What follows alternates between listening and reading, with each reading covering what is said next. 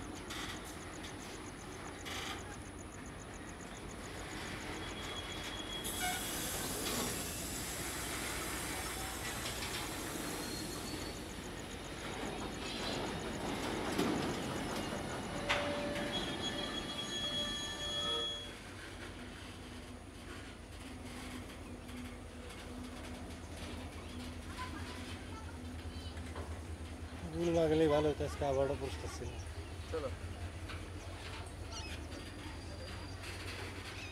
গেলে দেরি করে লাভ নেই চলো চলো